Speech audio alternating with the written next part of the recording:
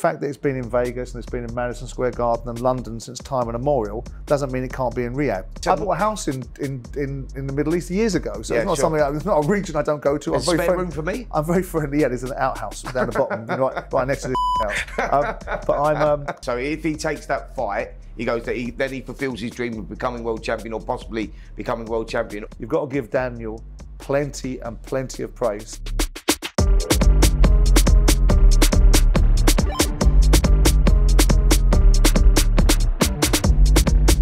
Welcome to Talk Boxing with Simon Jordan and Spencer Oliver. Haven't seen you for a while, Spence. Lots of things going on, and a big fight on my old stomping ground Yes. at Selhurst Park on Saturday with um, Richard Riakporhe and uh, Chris Billam-Smith. Looking Yeah, to abs- that. absolutely. Really looking forward to that one. It's a you know rematch from that 2019 Yep. classic, a Barnstormer back in 2019. absolutely. I think we get it again. But Simon, before we get into that, I wanted to get to obviously talk to you. We haven't had a chance to catch up yet about the 5v5, the, the Yep. big show out in Saudi Yep. Arabia. I mean, before even we get to that, Turki Alalshikh come on the show. We was it was a mad story actually because we was we was coming back from an event out there. Myself and Ed Huntley, the um, boxing editor, we're in the back of the car. Ed's phone goes from Turki's people. Turki wants to come on the show. Okay, all right. So Ed's like, okay, when when are we talking about? This is at like twelve fifty, something like that. He says now. Well, your show finishes obviously at one o'clock. Okay, brilliant. Pings in the number by twelve fifty-two. He's on the phone and talking to you. I mean, what was your take from that? Um, I, I, I was kind of ambivalent to it all. I mean, I was a little bit, my bum clenched, my cheeks did clench a little bit, and my feet did start to curl when Jim was calling his, him his excellency and how much of an honour it was for him to have, have him on the show. But I think it's an interesting one because he's a very powerful person in the world of boxing at this moment in time. And the financial resources um, are making a huge impact in making fights that others haven't been able to make. And of course, then there is this rancor, isn't there, where there's been this reaction to observations that have been made and mischaracterizations of those observations. And I thought he was a, you know, clearly he's a boxing fan. Clearly they have a view that they, they want to be involved in sports. Yeah. And you can make of that what you will um, for their motivations. But right now, what boxing is doing is enjoying a real halcyon moment where big fights are being made. And it was interesting because obviously we'd been shut down, which is their right. They can shut down who they want if they want. If they think that's a constructive way to operate, they can shut down who they want, or they can deal with criticism and and disarm it if it's wrong. Mm. Now, of course, Frank and Eddie are going to run around misrepresenting what people say because it suits them to, getting up on their high horse because currently what's giving them huge financial opportunities are the Saudis and Riyadh season. My view was very simply the fella came on, he had a view, he wanted to challenge some of the things and said that he had a, we have a right to be at the top table. And you know what? They do have a right to be at the top table. No one has a God given right to own any sport, do they, Spencer? No. So the fact that it's been in Vegas and it's been in Madison Square Garden and London since time immemorial doesn't mean it can't be in Riyadh. And that's fine. But if you want to be judged by those standards, then you've got to take criticism. Sure. And what I don't appreciate and have never appreciated is being told that a fair observation is something that gets you banned. And we were banned. Yeah. You were not allowed into press conferences. And Tyson Fury and his little gang, alongside the Saudis, excluded Talksport from, um, from major events. Sure. And that's fine if they want to do that. But from my point of view, it doesn't make you then somebody that um, you take seriously because despite the brilliant events, if you if you can't take criticism, then and it's fair criticism, it's not biased. If you've got your PR girls running around, turning around and saying that people like me are making these observations because they're xenophobic, I'm not going to put up with that. I don't. Sure. I don't work for these guys. Sure. I'm not going to jump on a plane at the first opportunity and run over to Saudi just because I've been invited to do so. You know, but I do think the man has got interesting thinking. I do think he's challenging the orthodoxy. I think it was interesting that he came on our show. Uh, my first question would have been, "Hi, how can we help you?" rather than "How can we bend Yeah, over yeah, for yeah. you?" Um, but um, from that point of view, I think there's a lot. You guys are out there. You guys are seeing it. You've been to the fights. I'm looking forward to them putting fights on in this country. And I think right now, these are halcyon moments of boxing, and I think it's interesting that you wanted to come on our show. Yeah, That- I think look, my take from it all was that obviously with what they're trying to do and, and with what they're trying to change within the sport, which is a good thing, and we've taken the politics away and we are getting the fights that we want, the, the fights that we've longed for for a long time. That's we've got this right. undisputed, and we'll certainly in the big division, heavyweight divisions. Yeah. Absolutely, and we'll break that down later in the show with this Anthony Joshua, Daniel Dubois situation, Tyson Fury. We'll get into all of that. But yeah, I think my take from it was only good for boxing because of the fights. For the boxing fan, the fights they want to put on, and it's not just going here. We've got August the 3rd out in States. We're going to get this, uh, this fight September 21st, Anthony Joshua here. Um, yeah, so I think my take from it was all very, very positive. I think from Turki Alalshikh's point of view, I Well, you were out there, weren't speak- you? Yeah, I was You, speaking were- you were out there in yeah. the press conference. I know you were out there with Jim, and I think what the what the Saudis want is they don't want a dissenting Western media. They want everybody on side. Hence the reasons why they called into a show that they perceive to be influential and have significant voices on it. They And some recognise the power, And some sure. people can say it's flattering. I'm again, I'm ambivalent about it. I'm very happy to have strong conversations with people. But you were in Saudi. Yes. You sat in a press conference, and I have got some of the understanding of what was said to it Mm. about what their, and ambitions are. But I, I like some of their views. I Yeah. think five v five is great. I think trying to create tribalism and team formats is great. Yeah. Because it builds loyalty. I think trying to smash the dynasties of the WBCs of the world, I think is great. Yeah.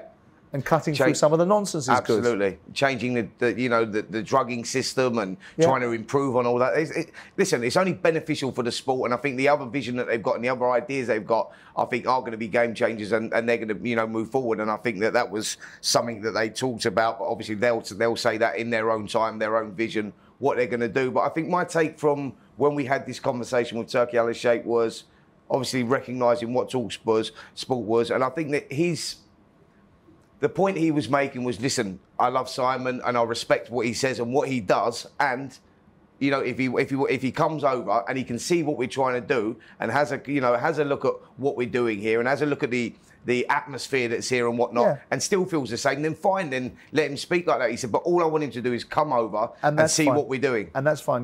You're more likely to achieve that by not banning people. Um, but the point is, will you go by the way um, if an event comes up that I'm particularly motivated to go see, I wouldn't not go. I, you know, I, bought, um, I bought a house in, in, in, in the Middle East years ago, so Yeah, it's not sure. something. I, it's not a region I don't go to. I'm very spare friend- room for me? I'm very friendly. Yeah, there's an outhouse down the bottom, right, right next to the house. Um, but I'm um, I'm I'm um, I'm very friendly with Nasser Khelaifi and Yeah. that part of the world. I have a great deal of respect for what they want to achieve. I'm not interested in getting into the debate about human rights. The questions that we raised was about atmosphere. And, and I understand the reasons why the atmosphere. And I didn't even raise the bleeding question. Jim did. All I did was because Frank was getting aerated was say you could hear a door shut. but- and by the way, I, when I was watching the fights on on DAZN in America, there still needs to be an, an atmosphere infusion. But but that will come, I'm sure. Absolutely. And maybe sometimes the alcohol that we drink in this country and other parts of the world isn't mm. always the greatest thing that does that in the part create some of the atmosphere. Do you know the, the- I think the problem the problem that we've got now is Simon. Yeah, the, look, the atmosphere is maybe not what you get in England, and that's understandable because it's a new region and a new area, and they're growing it. So we understand. I understand all You of that. just gotta be I think, fair. I think the problem that you've got now is that people are now going, oh yeah, but the atmosphere. The atmosphere. You go, well, hold on a minute. Now you're just focusing on that when you go, well, we're getting No, the fights, should- that, the fights that we want. So you can't got- go, oh, the atmosphere is brilliant, but the fights are. give- you know, you've got to give balance in every conversation. Absolutely. right? You know, I don't like all the backside kissing and all the sycophancy, right? And that's why I won't get involved in that. And I thought it was very interesting that he himself, without prompting, addressed in the call the idea that he has to be referred to as His Excellency. He even said himself, I don't like to be Yeah, referred to them. absolutely. You know, obviously, Yeah. when Frank and, and Eddie are stooping down and disappearing up his thobe, um, you know, uh, with his excellencies, they, they, they're doing it for their own motivations. I'm not cut from that cloth. I do respect what they're trying to do. I don't believe that it's without challenge. I don't believe it's without other motivation. And I do think that there is a danger that the economics of boxing could be destabilized to a point. I know that Frank and Eddie listened to 15 seconds of these observations and then turn it into a complete mischaracterization. If the only if the if the economics of boxing are determined by what the Saudis are doing, because they're not worried about money. yeah, sure. There's no commerciality to it. Yeah. And somewhere along that, that line, it might not have, it might have a sting in a tail. But right now, they're right. Everybody's right. These guys are making the fights. Yeah. And they have every right to be at the table. And it's up to everybody else to be able to try and make sure boxing isn't just um, destabilized by what the Saudis are doing. It's enhanced. And right Yeah. now, we're seeing great fights, and that should be the end of it. And the atmosphere co- comment, you know, maybe it'll change, maybe it won't. People will make their own mind up, won't they? Yeah, absolutely. Listen, And the right to say it is a is a fundamental right of the Western press. And if you want to have a relationship with the Western press, then you have a debate with them. And if you're if you're right in your debate, you beat them. If you don't, you don't.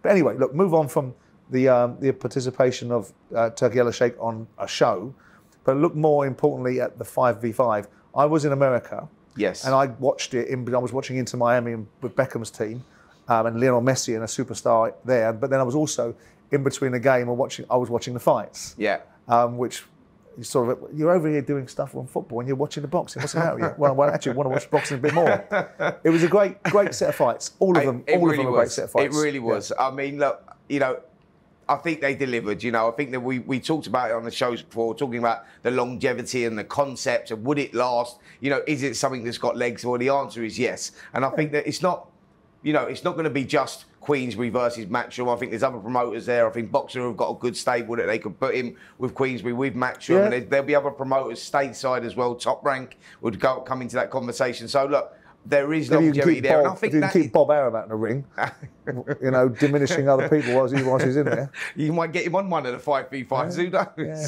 That'd be a good fight for you. For me, one I might be able to win. Yeah, is that what you're trying to say? Yeah.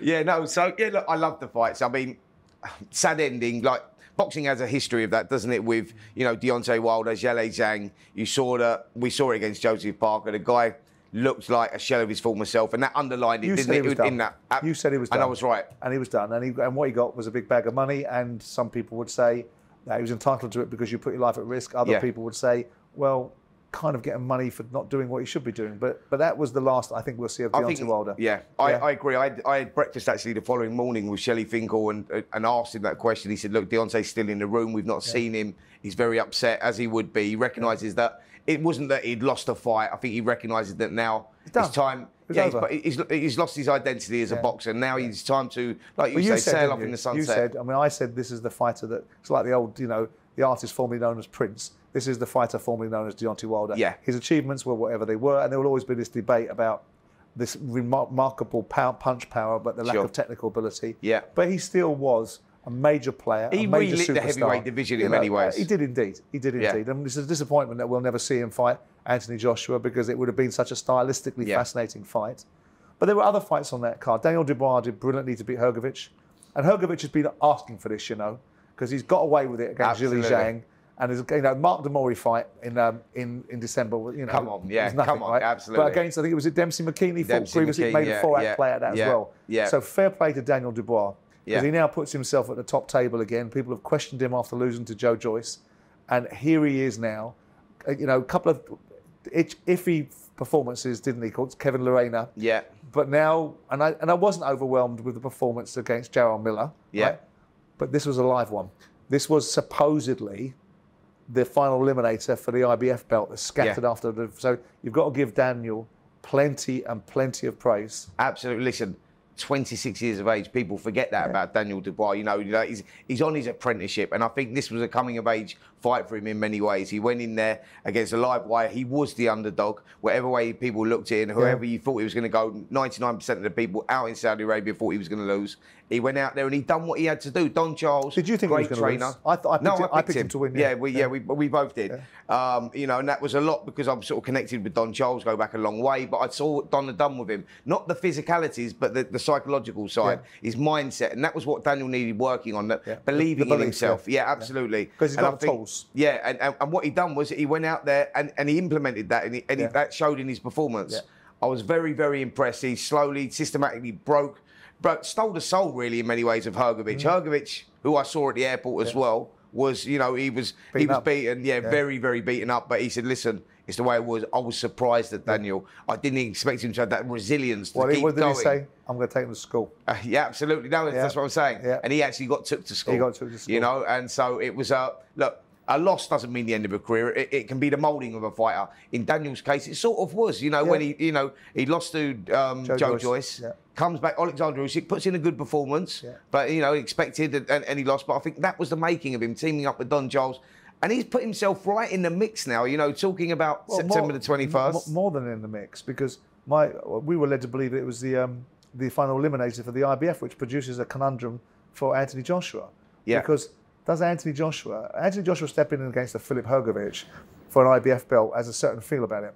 Anthony Joshua stepping in against Daniel Dubois, another British fighter, and finding himself in a situation where if Dubois were to beat him, Mm.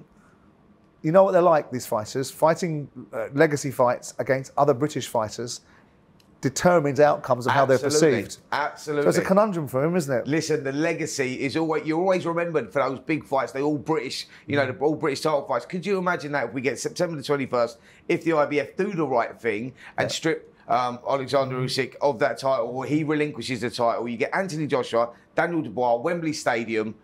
All British heavyweight Oh, it's a proper fight. Huge. It's but here's where it goes. We got obviously you've got Fury Usyk in the return. If Fury can turn it around, and he and he may well do that. Yeah, we'll see. If he if you know if, if he comes up with a game plan and turns it around, could you imagine Anthony Joshua out of nowhere here? You get Anthony Joshua picks up the IBF if he beats Daniel, which is a, an, an if as well. Tyson Fury beats Alexander Usyk. We get the undisputed again, the second one in under a year.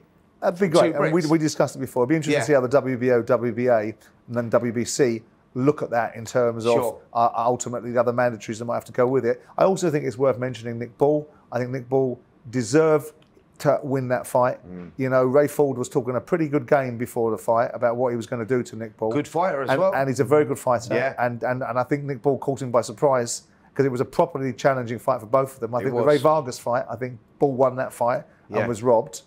And I think it's well deserved. And it'll be interesting to see where he goes next and Mm. how they can get him. Well, he's now he's now well he's now WBA world champion. yeah. WBA world champion, so Yeah. they've got an opportunity. But it's one of those divisions where they, you know, the, the money doesn't necessarily flow. just get get the unification again with Rey Vargas, get that back on. Mm. You know, I think that that's the fight that now we want to see. You know, to right the wrongs of that last contest, that controversial draw. But I, I like Nick Ball. I like he- he's a Me too. very infectious character.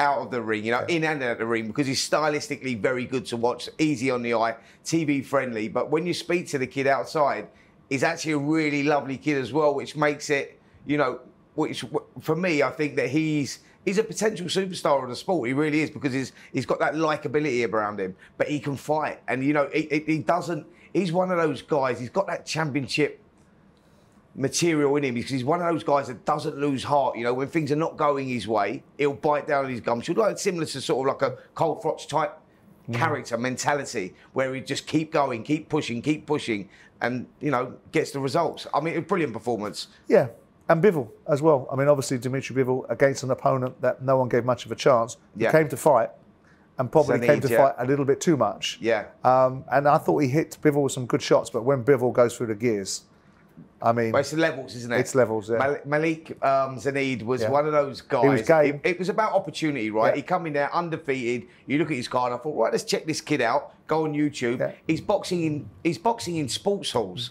That is the reality of it. But he stepped But it's about opportunity. he let, I mean, he let his right hand go a few times, and he and he did land a couple on He Bivol, did. which was probably his biggest mistake. Yeah. Because by by landing those, it woke Bivol into a v- mode of form that ultimately it was just levels, weren't there? And we, Yeah. we, it's an interesting time because if we're going to see Bivol versus Beterbiev, because obviously in the horizon, in the ether, if we can get rid of some of the shenanigans that's going on between people fighting about who they actually signed to. We want to see Buatsi versus Yarde. Absolutely. Because Buatsi versus Yarde leads to the winner of Bivol versus Beterbiev, doesn't it? Yeah, absolutely. I mean, that's that's the fight. Look, you, you mentioned two fights there, uh, fights that we want to see, and then you're talking about, you know, the winner of Bivol Beterbiev. If that fight with Waxy Yarde doesn't happen, you know, there's an opportunity to move up. We've got Jai Opetaia there, Yeah. who's shown an interest.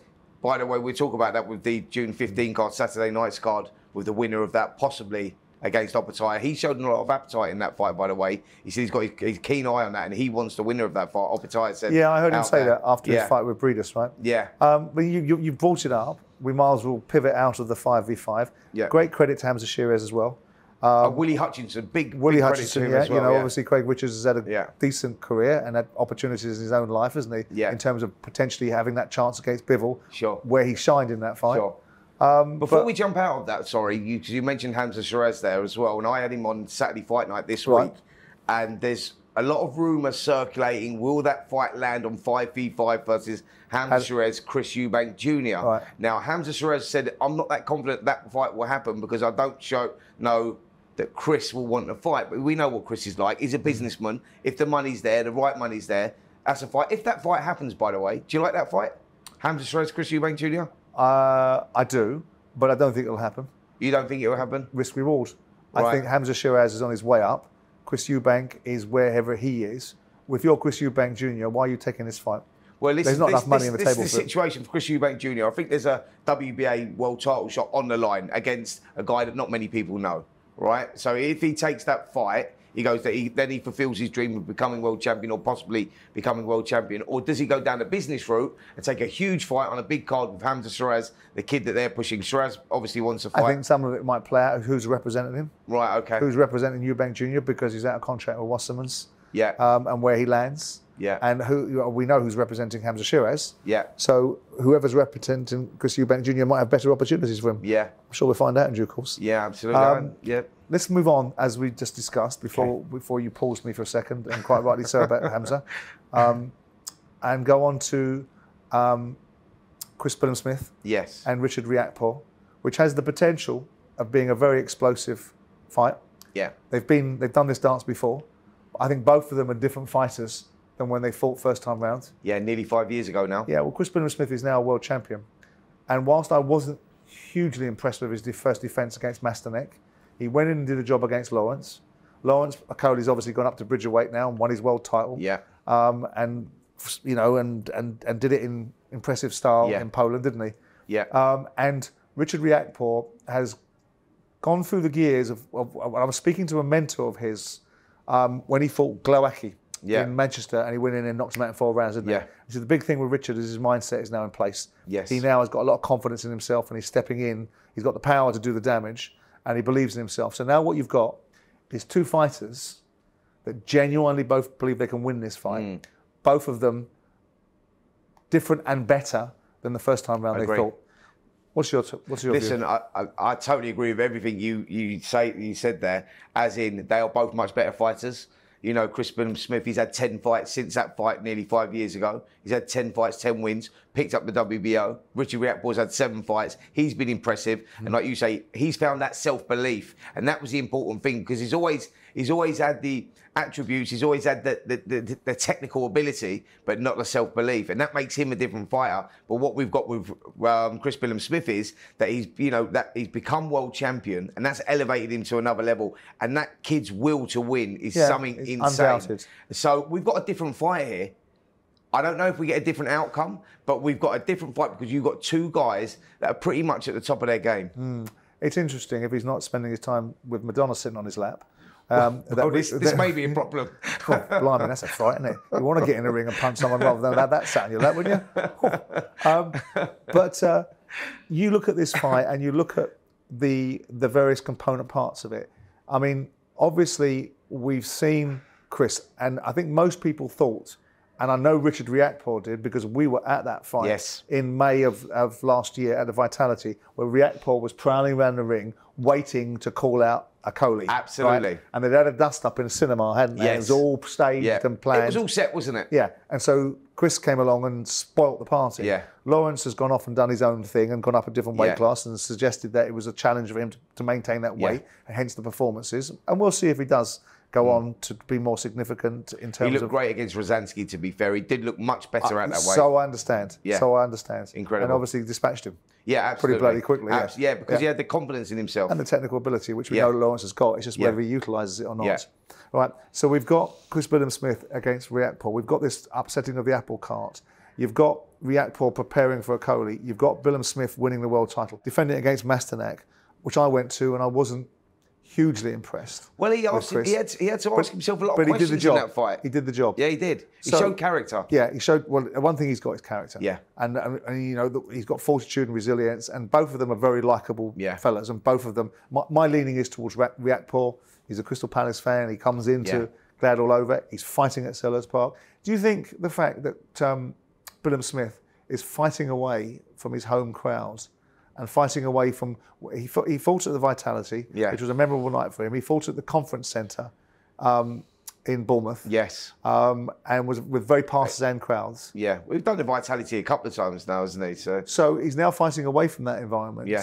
Do you think that's going to help or hinder him? um, it's a great question, Simon, because against Lawrence Okolie, let's, let's use that as an example there. That crowd played a huge part in pulling him through that fight, really. I think that that, you know, was, yes, he showed character and yes, he showed a lot of enthusiasm in the fight, but there were times there when it was going away from him. He got Yeah. hurt a couple of times, you know. As we saw in the last fight with Riakporhe, Riakporhe had Chris Billam Smith down. So stylistically, he's got that, you know, he's got that punch power, and he will take the fight to Billam Smith. We know what Smith's going to do.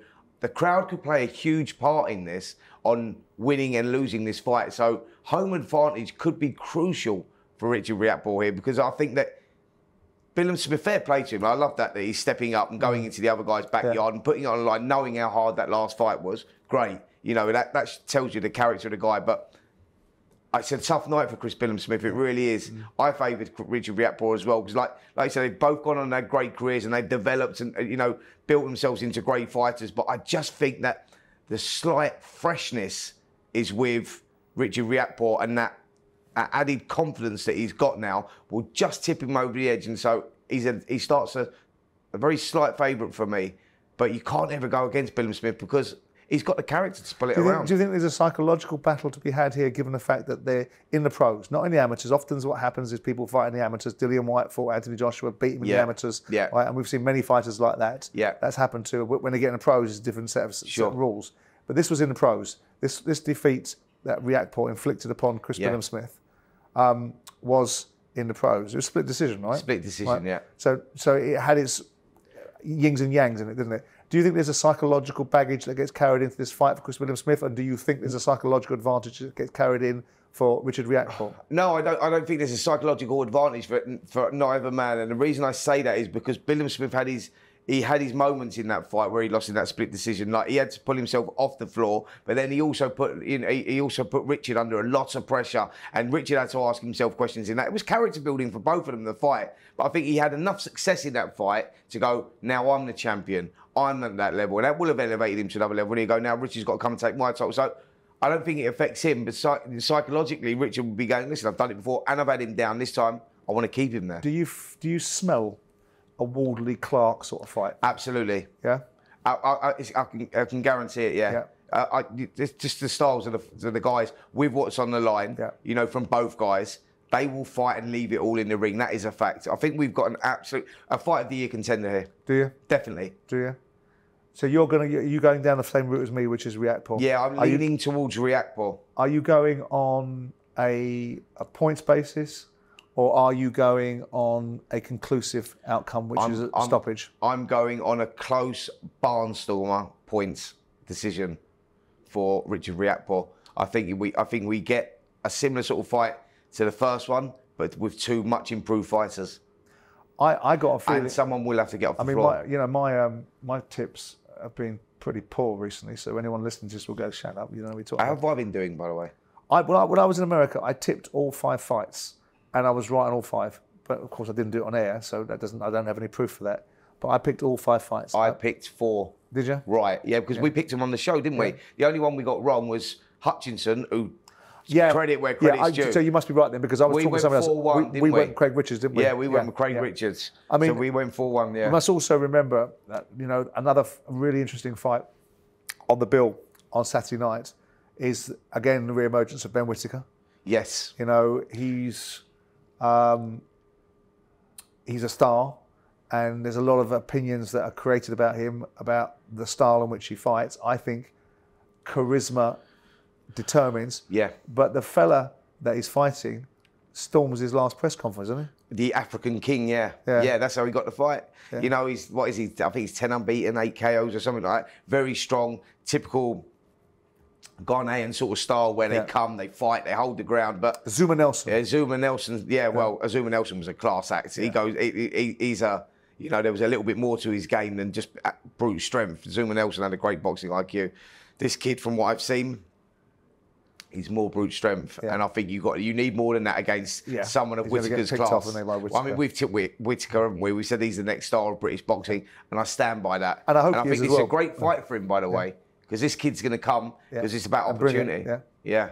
Yeah. And Isaac Chamberlain against uh, Jack One Smack Jack- Massey. Oh, I love it. Yeah. Love that is a, that's a great fight as well. You know, you look at Massey and you go, look, you know, the, the, the loss to Richard Riakporhe was a close loss Mm. as well. We give him a good, good fight there. You know, and then he got he moves up. Because Joseph Parker fought Jack Massey as well, didn't he? Uh, yeah, absolutely. And he give. I'll tell you what. With the Jo- Joseph Parker fight, that was last year, 2023, and Massey moved up to heavyweight for Yeah. that fight, and he rocked Because he was working on a, he the was working on a building site at the time, wasn't he? That's right. He- I yeah, that's right. Remember, it was a great story. He got the opportunity. He looked like he was going to retire. Got the opportunity. He hit Parker with a left hook Yeah. in that first round and rocked him down to the soles of his boots. Look where Parker's gone now. Yeah, and that, look, that's what I'm saying. Yeah. So you go, you he's got to be respected, Matty. Isaac Chamberlain's had a, you know, he's done great himself. You know, he's had some good wins. He's picked up, you know, he, he, from you know, if you go back to when he boxed Lawrence Okolie at the O2, stunk the place out. The, the fight did. It was one of the worst fights I've, I've possibly seen. It was, you know, he was very negative. Both mm. guys were being quite negative, but.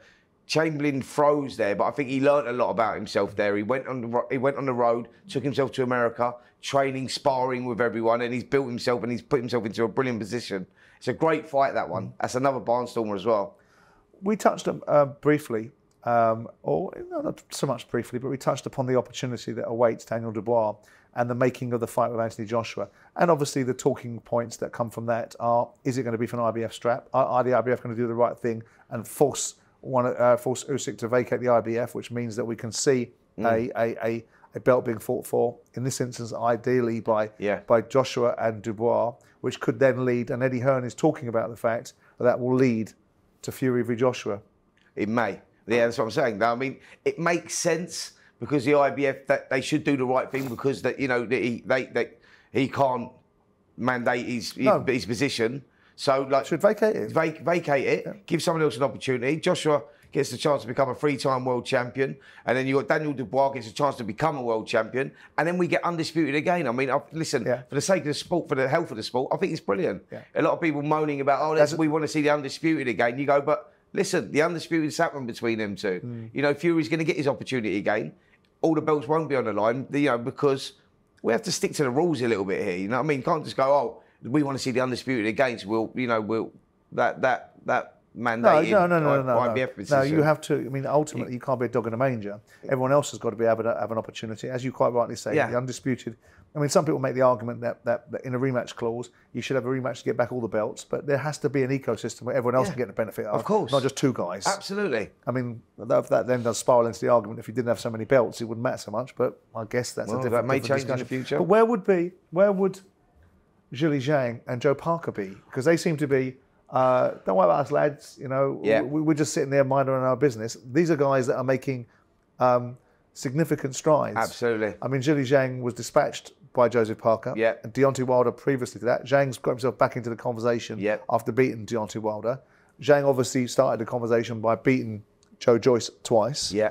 What about these boys? Are they just sitting there as chopped liver? Well, this is that's a great great question. I, I actually spoke to Joseph Parker out in Saudi last week and said to him, Joe, like you've coming off two back-to-back wins against Zhilei Zhang and and Deontay Wilder. Where are you at now? What are you doing? And he was like, Waiting. Great question. Where am I at? Where am I doing? Because while all these titles are tied up, I tell you when Daniel Du- Daniel Dubois fits in the mix there, you know, like Dubois versus someone like Joseph Parker would be a great fight. It's a fight that I would like to see, and I think they both earned that sort of right to. What, for an IBF boxing. strap? Well, I don't, I don't know what it is. No, say if the IBF, say if the, say if the Anthony Joshua Daniel Dubois fight doesn't happen, because then Yeah. he talks about they that fight will happen if the IBF's on the line. If they decide to keep the IBF and they go undisputed again with Fury Usyk, you go and then you know Daniel, uh, the Daniel Dubois looking for an opponent. You go that would be a nice fight. For no, no IBF Yeah, I on the get it. I can't- but that you- can't- but I can't be right, No, but it? what I'm saying I is you, a you- you're asking about where they go. The answer is I don't really know what where Parker and Zhang fit at the moment because of this situation with with the belts. Do you think they'd have another dance again? Because there was, it was a there- good- the first fight There was was, a talk of there was the talk of those two guys. They both fought the same opponent, haven't they? Yeah. They both fought what you know what was left of Deontay Wilder. Yeah. Um, and obviously Zhang's outcome was more conclusive. Yeah. Because he It always stopped would be him. because of the punching power Because he stopped him. yeah, yeah, Stopped him. Yeah, I Um, mean, But it's interesting times, and what's happening is that these fights are getting made, and we're seeing them. And obviously, the, the centre of that is the Middle Eastern money, and so we have to be thankful that these guys are getting the kind of money that they're getting, getting these fights. And we go around in circles and we see. I want to see Joshua fighting for the IBF strap. That's what I want to see. Yeah, I'm with- I'm because with you. because that's what should happen, and that's the natural order of And I want to see it against Daniel Dubois as well because I think that Dubois and, and- earned and that I think right. and I think that's a really interesting matchup. Mm. I think that's a really interesting matchup, and I think it's a matchup. If I think if Hrgovic had won that fight, they might have made that fight quite with Hrgovic. quick. So they should do the same thing with I Daniel agree. Dubois, and there shouldn't be any background noise about the fact he's another British fighter. Um, some other stuff going on in the world of boxing. Manny Pacquiao I'm is glad you brought that up. is Yeah. reportedly returning to fight Well, for the WBC welterweight title Yeah, well, against Mario obvious- Barris.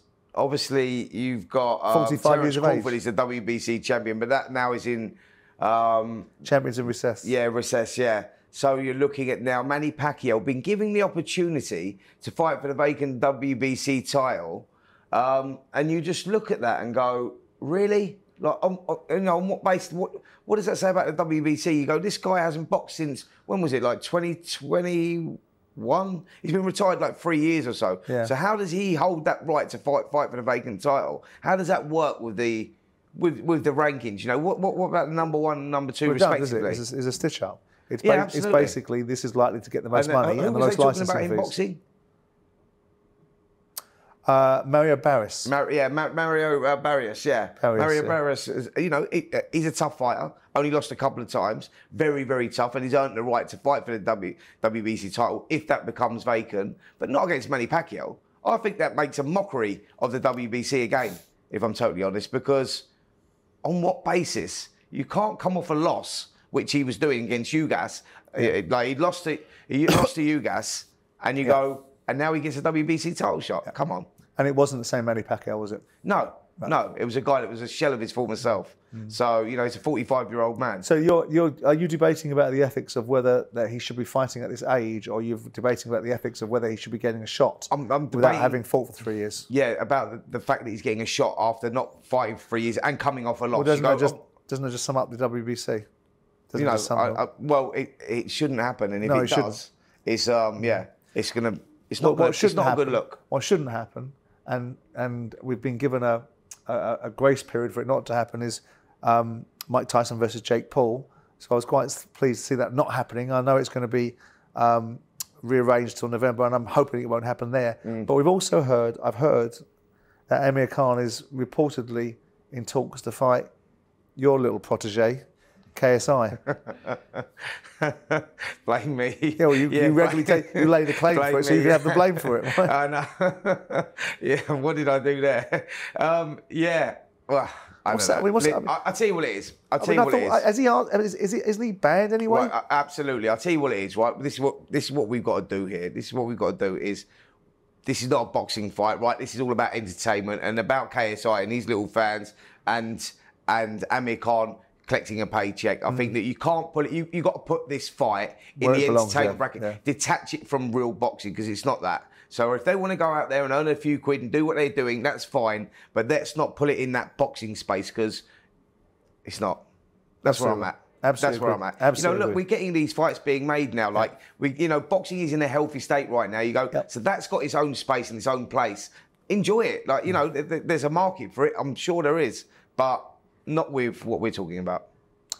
Right, Spence. Well, nice to see you. And that is it for episode 76 of Talk Boxing. And we'll see you next time we're out with the outcome of one of the biggest British cruiserweight fights in years Richard Riakporhe versus the defending world champion Chris Billam Smith.